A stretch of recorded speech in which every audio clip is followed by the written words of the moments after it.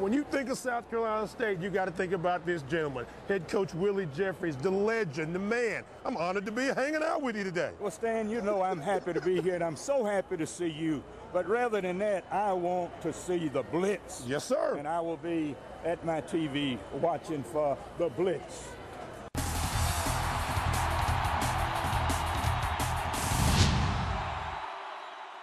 Coach Jeffries, thank you so very much. Yes, sir, it is blitz time, but we're going to talk a little basketball early on Fort Valley State. Just announced they have a new basketball coach. His name is John Douglas. Now, Coach Douglas has 15 years of coaching experience, the last seven years at Lawson State Community College down in Fairfield, Alabama. That's where Miles is. That should be an interesting ball game.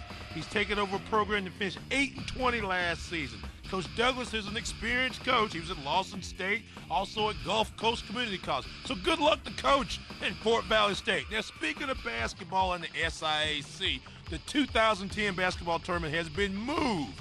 That's right, it's moved to the ATL, to the Morehouse College and the University Center. So all you fans that were going to Birmingham, get ready, because it's going to be in the ATL. Can't hardly wait. And the championship game is going to be on Saturday night instead of Sunday. Give you more in a little bit. March 1st to the 6th. That's the SIAC. I'm gone. Blitz time's over.